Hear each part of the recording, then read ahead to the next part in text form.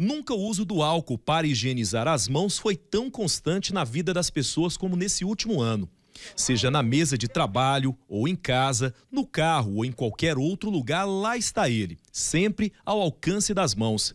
E é justamente as mãos que mais utilizam o álcool, seja ele líquido ou em gel, que mais tem sofrido com o uso prolongado do produto. Carla é recepcionista de uma clínica médica e precisa usar o álcool muitas vezes ao dia.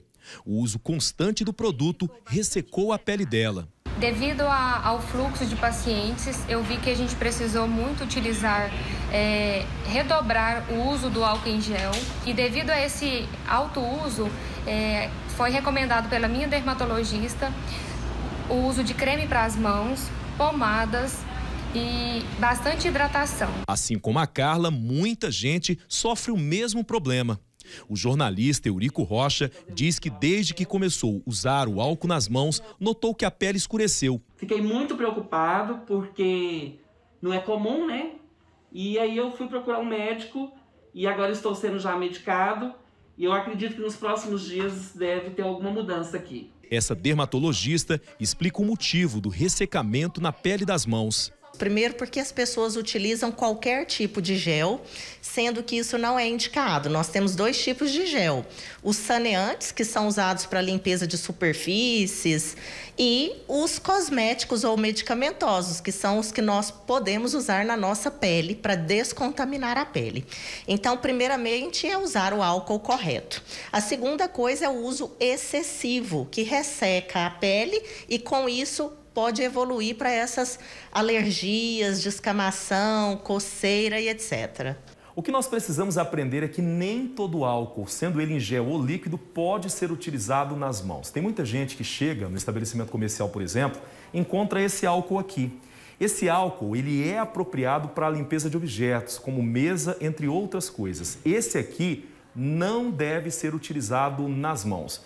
Agora, no mercado já existem produtos avançados, como é o caso desse álcool em gel próprio para ser usado nas mãos, que já vem inclusive com o hidratante. E tem também o álcool em gel convencional, aquele mais simples, mas que também pode ser utilizado nas mãos.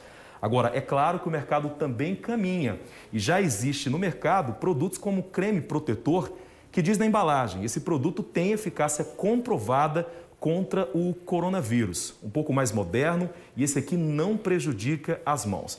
Mas é importante a gente também aprender que com tudo isso à nossa disposição, o melhor mesmo é lavar as mãos. Esse químico industrial explica o efeito do álcool na pele. O uso excessivo do álcool 70, ele pode provocar dermatose na pele, ressecamento da pele e pode provocar também alguns ferimentos porque o álcool ele tem o poder desidratante e desengordurante. Então nossa pele tem uma camada natural de gordura que protege e daí o uso excessivo desse álcool gel pode provocar justamente a retirada dessa camada de gordura na pele, provocando dermatose.